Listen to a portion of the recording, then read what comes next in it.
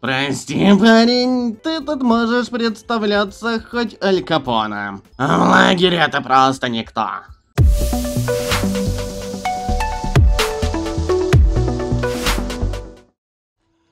Здорово, братаны, вы на канале Дювплей, меня зовут Евгений, и сегодня мы будем продолжать проходить мод двое Эроленочки, погнали!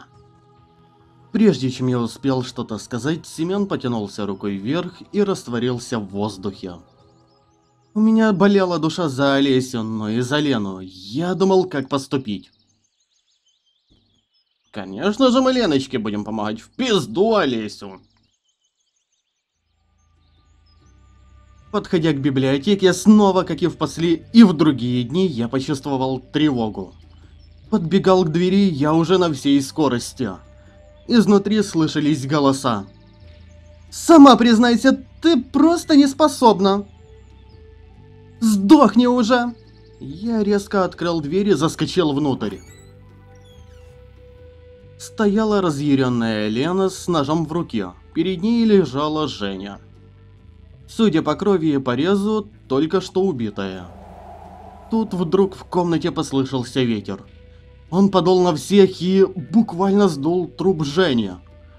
Пропал не только труп, но и кровь на полу. И в следующую секунду за столом поодаль появилась Женя. «Живая!» Лена рванула к ней. Но я подскочил к Лене и обнял ее сзади. «Лена, Ленусик, стой! Она специально тебя провоцирует!» Лена перестала стремиться к Жене. Женя заржала. Лена налил... наливалась гневом. «Послушай меня, Лена. Она тебя провоцирует. Специально. Не слушай». «Эта мразь ответит!» «Лена, Леночка...» Лена, похоже, меня не слышала. Я понимал, что еще чуть-чуть и будет поздно.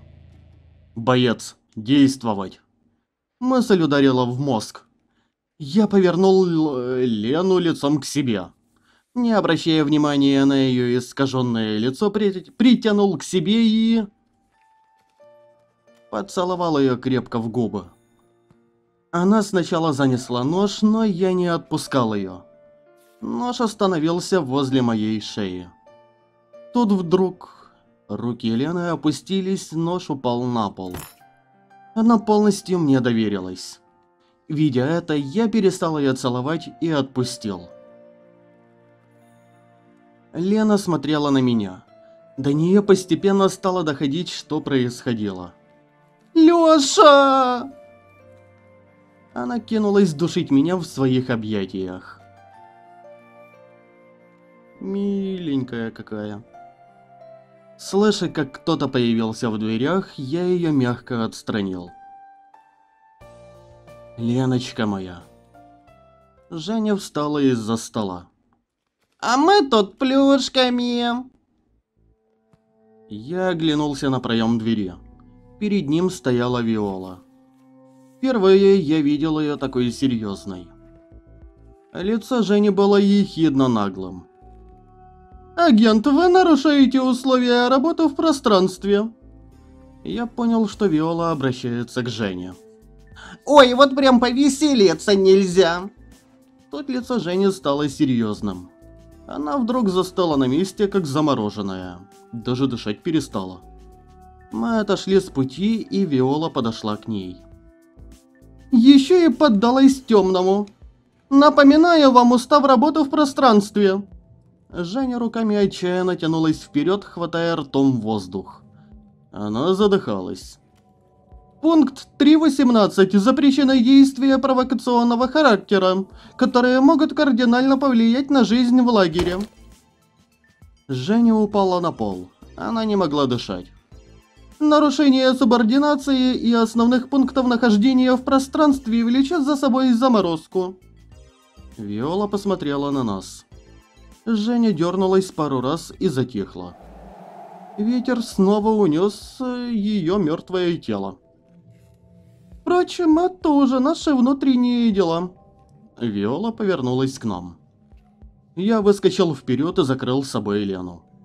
«Виола, она не виновата! Пожалуйста!» Виола удивилась, но потом улыбнулась. «Вот что значит настоящая любовь. Редкость». Она зря провоцировалась, но теперь я вижу, что она в надежных руках. Ты смог остановить волну?» Она замолчала.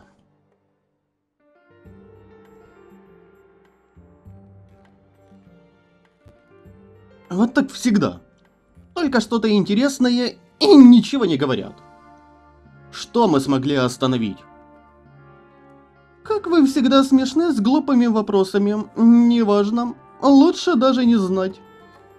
Лена, ты знаешь, почему она так тебя провоцировала? Нет. Потому что, когда темный много раз в тебе совершает убийство, а потом ты лишаешься памяти и приходишь в себя, помня только последние часы. Лицо Лены было удивленным, но потом стало грустным. Теперь я поняла, почему многое не помню.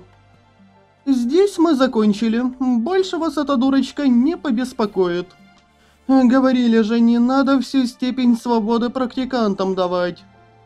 Back to reality через один, два. Она не успела щелкнуть пальцами, как растворилась в воздухе. А за столом из воздуха наоборот материализовалась Женя уже спящая. Видимо, так ей просыпаться не впервой. Конечно, она и не заметит перемещения меж лагерей, потому что много спит. Я поняла теперь. Это теперь Женя в... в лагере, и она не знает. Я кивнул. Женя проснулась и уставилась на нас. «Чего шумите?» Она немного смягчилась, посмотрев на Лену. Все успела собрать?» Лена кивнула. Взяла меня за руку, и мы вышли из библиотеки. Выйдя на свежий воздух, я вздохнул с облегчением. Понял, что одновременно с Леной. На что мы оба рассмеялись. Леночка, легко же все с ней. Легко все же с ней. Я там даже дышать нормально не могла. Вижу, что ты тоже. Ты меня реально напугала. Хорошо, что я пошел туда тебя проведать. Не знаю, не пришла... Не пришла ли Виола вовремя? Блять. не пришла ли Виола бы вовремя, но... Ты меня вовремя остановил. Лена поцеловала меня легонько в губы. Я снова потянулся к ней но поцеловал лишь ее пальчик, который меня остановил. «Малыш, идем на концерт!» Я вспомнил про Олесю. «Лен, мне тут Семен один сказал, что Лисе требуется помощь. Тебе мы помогли, пойдем за ней». «Мне почему-то кажется, что мы ее увидим там, среди зрителей». «Я верю тебе». Лена взяла меня под руку, и мы пришли к сцене. Увидев, как на первом ряду Леся под руку держит Шурика, я улыбнулся и помахал ей. Она тоже помахала нам с Леной. Зря я волновался, она же боевая. Начался концерт. На сцену вышла Алиса с гитарой и сыграла какую-то красивую песню. Я не силен в зарубежной музыке, но было классно. Потом Мику спела что-то на японском. Потом вышел Семен, тоже взял гитару. Подмигнув Ольге, на что-то сразу отвела взгляд. Также гитару взяла Алиса, Мику встала за синтезатор, а Ульянка села за барабаны. Они заиграли. Красивая композиция и слаженно же у них получилось. Лена сидела рядом, слушая и периодически хлопая в ладоши не выпуская мою руку, пропустив свою под моей. Выглядело смешно и в то же время мило. Так проходил концерт. Были еще времена. Ух, бля, времена, номера. Но я все радовался, что Лена рядом со мной сидит, расслабленная. что она радуется искренним музыкальным номерам рядом со мной, не выпуская мою руку. Лена очень сильно изменилась. Я теперь понимал, какая она настоящая. Вот та, что рядом со мной. И такой я хотел ее видеть всю жизнь. Наконец концерт закончился. На сцену вышла Ольга. Она волнуется?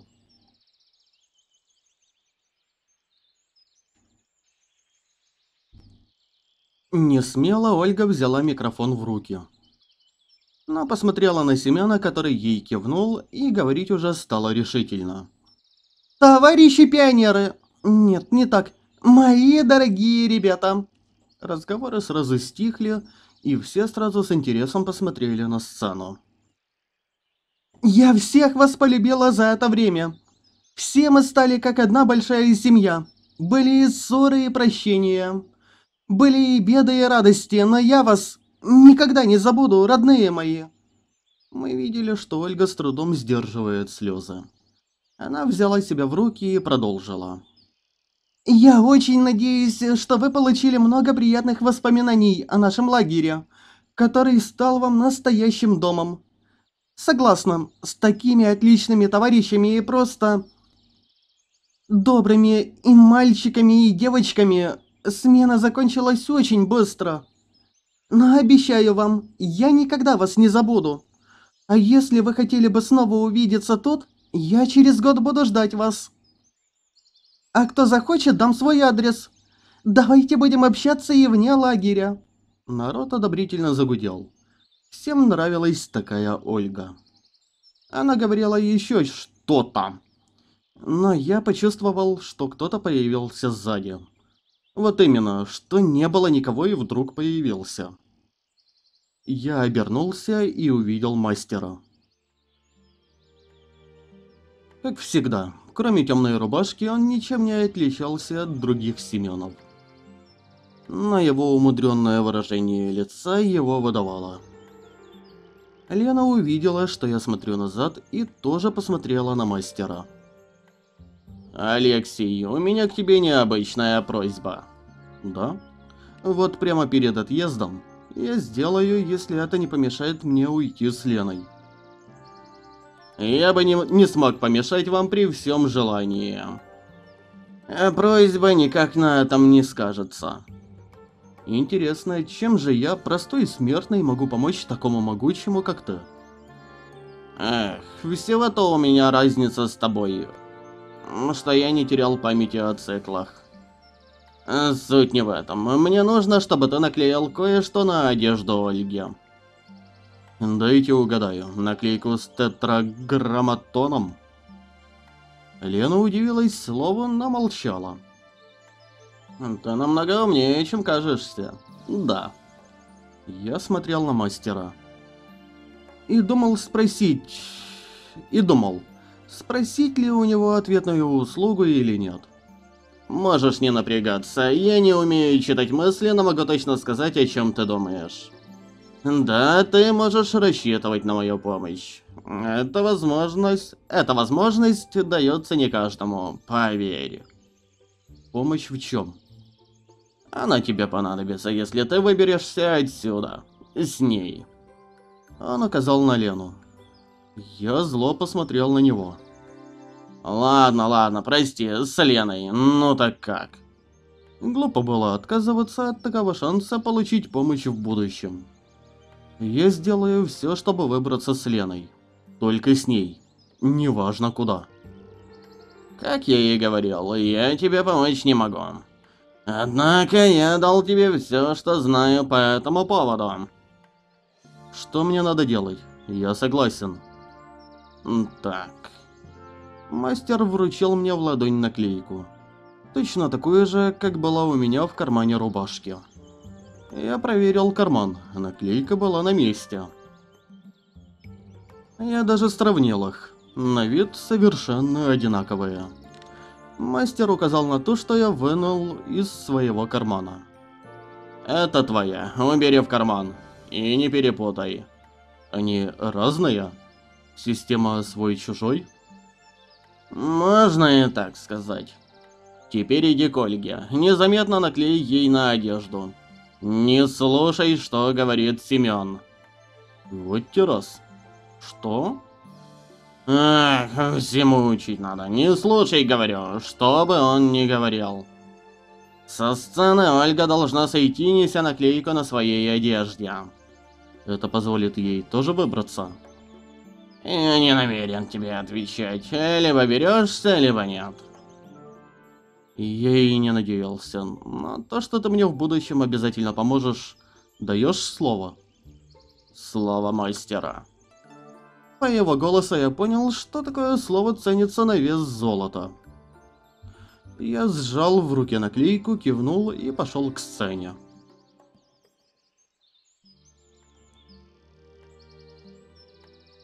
Обернулся к Лене.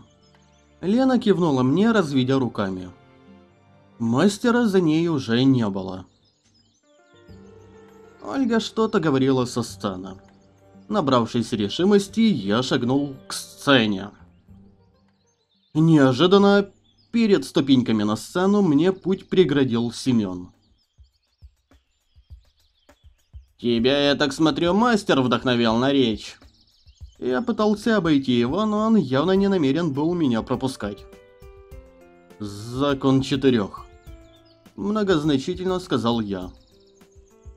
«Прости, парень, тут ты тут можешь представляться хоть Аль Капона.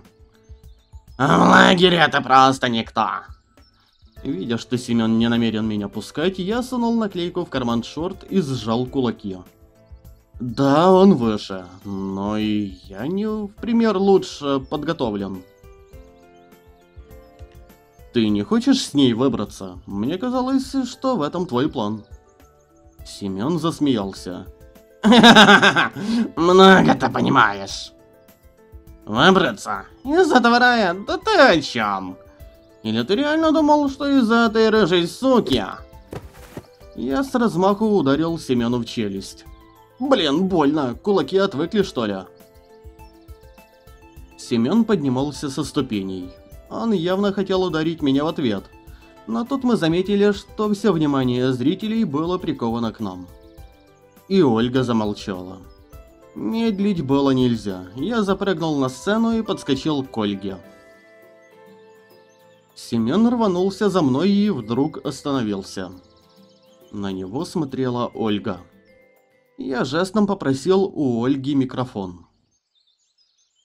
«Ребята, не знаю, как вы, но... Для меня наша уважаемая Ольга Дмитриевна стала как старшая сестра».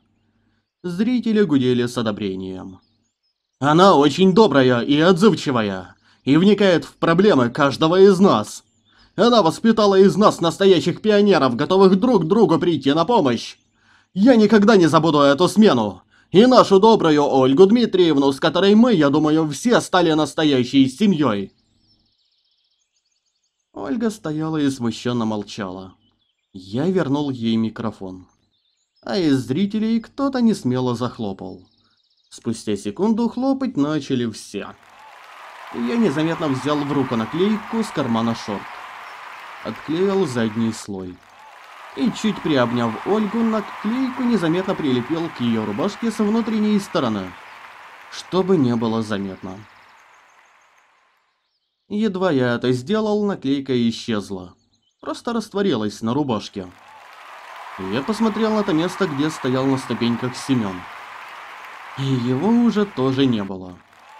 Окинув взглядом хлопающую толпу, я заметил другого Семена, который кивнул мне. Кто из них клон? Кто настоящий с этого лагеря? Который хотел вытащить отсюда Ольгу? Все оставалось без ответа. А блять, сколько можно? Но я был рад и тронул Ольгу за рукав тихонь... И тронув Ольгу за руку...